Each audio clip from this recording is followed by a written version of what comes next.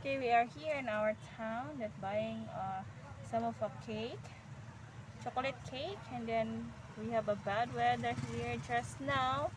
The rain stops, and then I'm here in the town of Plaridel.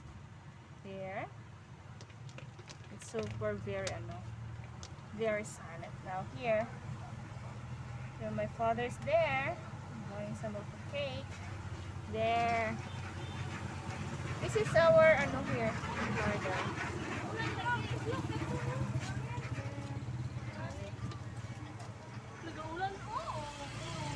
Yeah, it's going back to training again. Ato palit sa tagkuan pa palit o kaning slice slice bread.